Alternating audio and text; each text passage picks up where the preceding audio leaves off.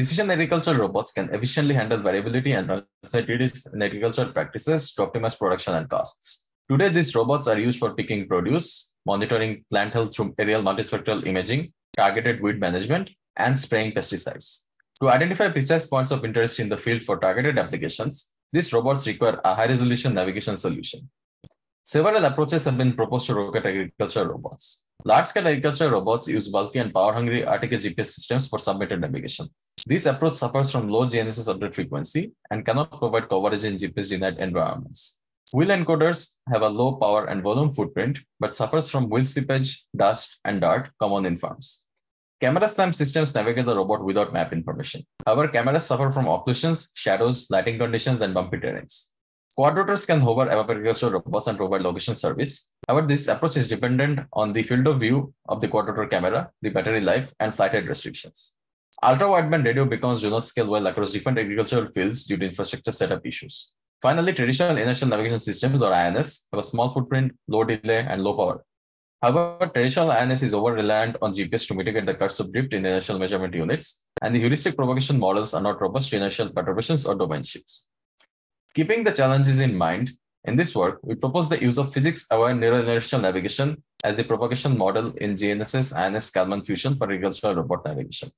Instead of using heuristic models, a neural network predicts the velocity and location of the robot during Kalman propagation from 9 of IMU readings. Subsequently, the robot can navigate longer without GPS updates over heuristic-based techniques.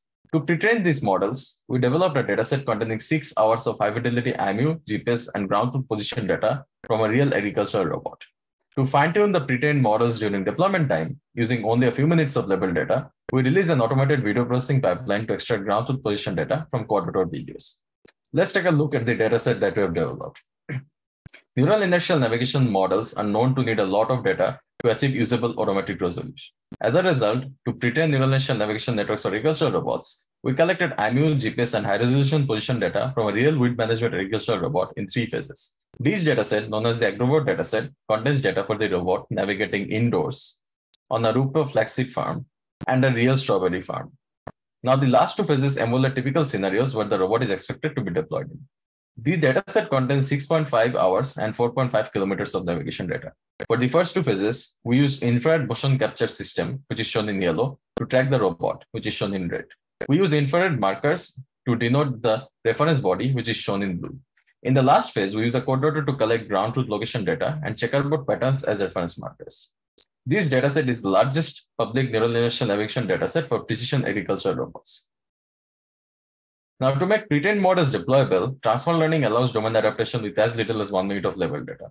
However, collecting labeled navigation data in the field is challenging for non-domain experts. As a result, we provide an inexpensive and automated video processing pipeline for farmers to collect labeled ground truth position data using quadrotors for fine-tuning pre-trained odometric models for their own applications. Farmers place several reference landmarks within the predefined area, measuring the horizontal and vertical distance between them.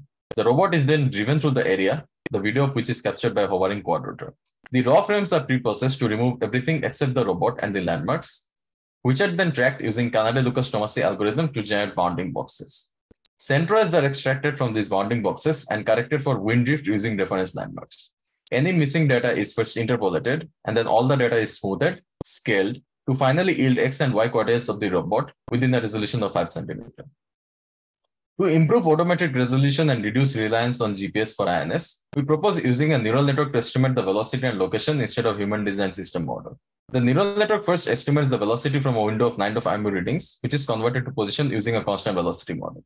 We add a physics metadata channel based on the fast Fourier transform accelerometer readings to act as transportation mode detector. This prevents the neural network from regressing invalid displacements. The magnetometer acts as additional reference anchor besides gravity, and the velocity-centric formulation counteracts heading rest singularity. Now, to include this neural network in an extended Kalman filter formulation, we separate the neural and non-neural components in the Kalman propagation. This results in the neural network providing a nonlinear black box mapping between IMU readings and states.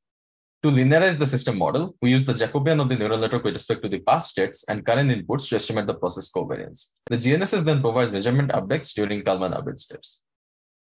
We compared the performance of our proposed neural Kalman filter against conventional neural INS as well as classical INS. Across all the baselines, our filter achieves 1.5 to 2x lower flash uses due to the uses of a lightweight temporal convolutional neural network backbone. However, at the same time, our filter achieves 1.4 to 5.8x higher odometric resolution as well. As seen in the sample trajectory plot on the right, the GPS alone is very noisy, whereas conventional NS drips due to IMU angular random walk and bias instability. However, our filter learns to combine the smoothness and short-term accuracy of neural networks with long-term precision of noisy GPS or GNSS updates. Furthermore, the filter can even constrain the positional error down to 2.75 meters with 20 minutes of GPS outage. We also showcase the utility of transfer learning in reducing data handling nature of neural inertial navigation.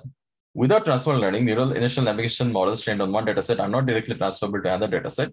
This results in 1.6 to 13.66 lower odometric resolution compared to fine-tuning. However, fine-tuning pre-trained odometric models in the targeted domain requires 20x less data than training a model from scratch. In fact, fine-tuning with one minute of level data outperforms training from scratch with 20 minutes of data by 1.3 years. Thank you.